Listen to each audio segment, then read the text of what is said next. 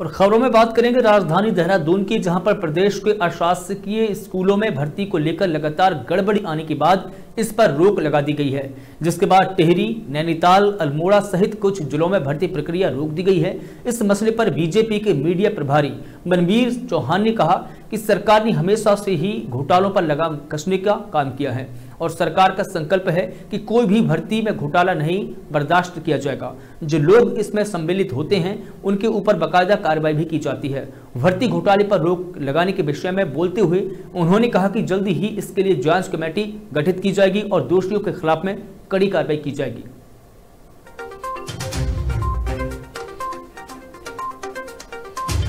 सामने आया है, उसको लेकर के सरकार ने इसको गंभीरता से लिया है